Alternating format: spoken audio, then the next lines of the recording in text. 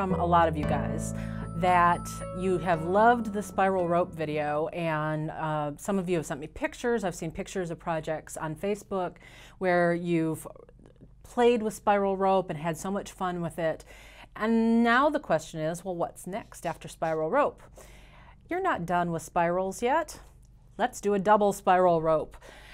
A double spiral rope is where you've got two different colors usually. It doesn't have to be two different colors, but two separate spirals going around the rope. It's a little more difficult in that you have to be very careful about where you're putting each color so that the spirals uh, stay distinct from each other.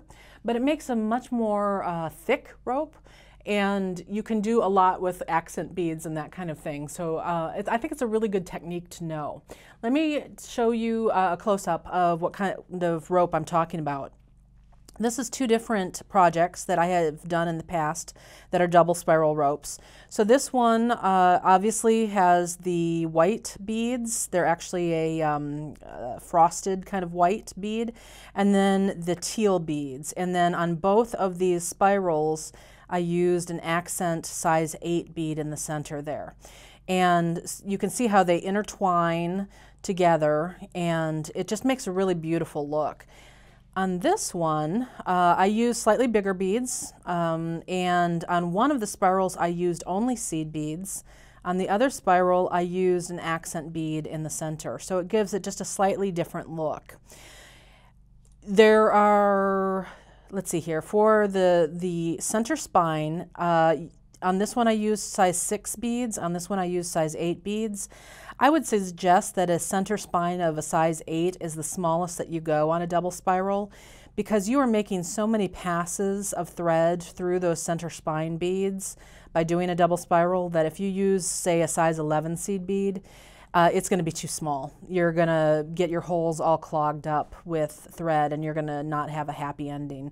So a size 8 or a size 6 is your best bet for a center spine bead. So let me show you how we're going to make this. I'm going to kind of put these off to the side here. Uh, just the same way that we start a regular spiral bead, I'm sorry, spiral rope, uh, we're going to start the same way here. So we're going to pick up a number of beads for that center spine. I'm going to pick up four for this example. You can make it longer or you can make it shorter. It just depends on the look that you want to get, how, how elongated you want your uh, loop beads to look. So in this case, I'm picking up four. And then I'm going to pick up the, the beads for my first loop at the same time. So what I'm decided here is I'm picking up three of this color. I'm going to add a little accent bead. So I'm using that same size 8 that I'm using for the spine for an accent bead. And then another three of that color for that loop. We're going to bring all those beads down so that we have about a 4 to 6 inch tail below them. You want enough down here to be able to weave it in later. And then we're going to pass back up through only those first four spine beads that we picked. So I'm going to grab onto this tail so I don't pull it right off. All right, so there's our first loop, our spine and our first loop.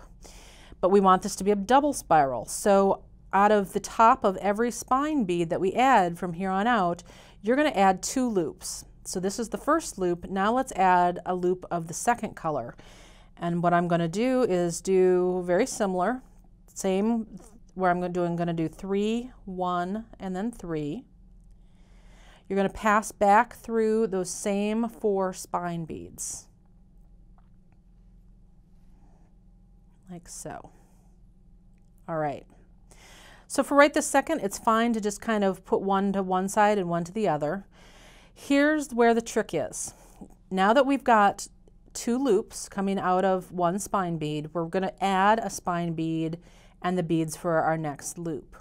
When we add the beads for that next loop, you need to make sure that the, the color loop that you're adding is, is directly to the right of your spine.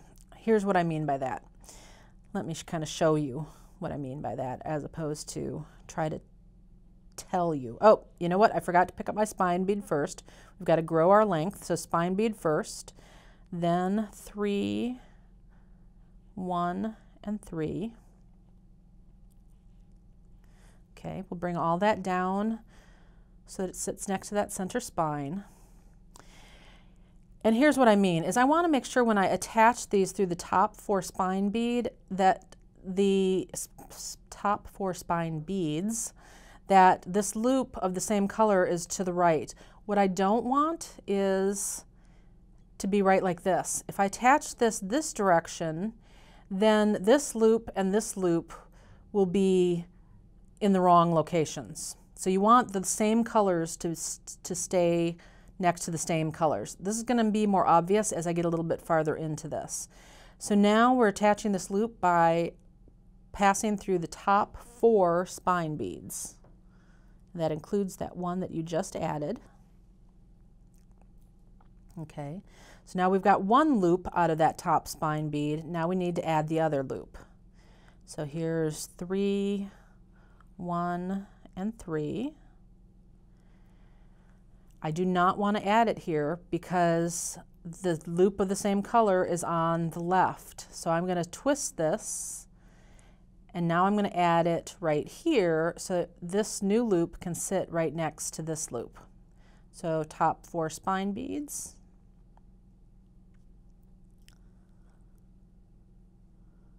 There we go. and we'll tighten it back up. It's got, there we go, tighten it. I just got this little loop of thread showing here. I wanted to get rid of that. So it just kind of looks like a mess of beads here, right? So, but just remember, you just need to orient it. So now here I am with this color on this side and I'm ready to, I've got two loops out of this top spine bead. That's one way. So sometimes you get pulled away and you don't, you come back and you don't remember, did I add both colors or not? The answer is you have to look at this top spine bead and see whether, sometimes you can kind of look at it from the top edge and make sure that you've got if one and two loops out of it. If you've only got one loop out of it, you know that you need to start by adding the second loop. Okay, so since so we're growing it. We're going to add one new spine bead and three, one, and three. Okay. Bring those down because I need to be able to go through that top, that new spine bead. So the top four is what I'm going to go through. One, two, three, four. Watch and make sure that it doesn't accidentally catch on these other loops while you're doing this. Okay, so now that's one side. We're gonna get we're gonna go ahead and get the beads for our second loop ready. So it's three, one, and three. I need the same color to be on the right. So here I am flipping it. And now I can go, I'm through these top four. What's going to happen as you keep adding loops here is this is going to start getting really tight in here and you're going to have to kind of pry the loops apart to get to these top four spine beads. Totally fine. You can manhandle this. It's totally normal to have to do that. And what I'm going to do here, there we go. So it still kind of looks like it's just got two sides to it, right? But as you keep building it, then you're going to start getting the spiral action going on. So let me show you, I'm going to kind of switch projects here because here's one that is a little bit farther down the road. So I've already worked this a little bit farther and you can see how this starts wrapping around. But what you're doing is going to be identical to what you've been, you're just doing that same thing over and over again. So here I am, I've got two loops out of this top spine bead, which means that it's time to add a new spine bead. Pick that up. I'll pick up this the beads of this first loop. So it's three, one, and three. Okay, look, Mr. Bead. All right, we'll bring those down so that that new spine bead sits against the spine. And see how I kind of have to pry these open to kind of get down to that spine? Like I said, totally normal. One, two, three, four. This is the bead that I want to go into. Here's something else. Sometimes it can be hard to get an angled on that bead to get your needle up through there. It depends on how tight of a beader you are. You can actually bend this a little bit. So if you bend it away from yourself, it'll create a little opening and you're able to get in to those spine beads a little bit easier. oops, let's see here. This is a terrible color for me to try to be working with on camera because the lights are kind of making it transparent. Okay, and then there's that top spine bead. So there I am going through the top four. And do that loop. Okay, so then I'm still going to turn it, and here's where my last red, dark red loop was. So here I'm going to pick up my three, one, and three. Okay, we're going to kind of pry it apart. One, two, three, right down in there is the fourth bead. Again, I can kind of bend it over. Or, you know, it's, you're not going to bend it over. It's not like you're going to bend it at a 90 degree angle, but you can bend it a little bit so that you, just enough so that it separates so that you can get your needle in there is the biggest trick. And then back up through all of those. And then by placing that right in that spot, see how that's growing it in the right location. And you're just going to keep adding those loops over and over again until you get the length that you desire. Um, there is such a thing as a triple spiral. Triple spirals, man, I just, I don't, I honestly have tried it and was, have gotten the holes in the center spine so blocked up with thread that I couldn't get through there. Uh, so you would have to use a fairly large center spine bead to do a triple loop. You would do it the same way where you just keep making sure that the color loop that you're adding is immediately to the right. Let me say though, I'm a righty, so moving everything off to the right makes sense to me. If you're a lefty, go for it. Just make sure that you're consistent and you're moving everything off to the left. Um, so you just have to pick one direction or the other and be consistent with it. Anyway, so the, the triple, triple one is done exactly the same way. It's just that you're adding three loops out of every spine bead. So that's where you would have to use at least a size six uh, seed bead. Actually, a size uh, 8 Delica might be a really good option for that. I haven't tried that yet because that has a really big hole in it. Uh, and you would also want to go down to a smaller needle size because that will make a difference too. If you're having trouble getting your needle and thread through those spine beads, Going down, if you've been using a size 10, going down to a size 12 needle or even sometimes a size 13 needle will make a big difference. Last tip I have for you is sometimes you can kind of get it, that needle through those spine beads, uh, but then kind of get it stuck.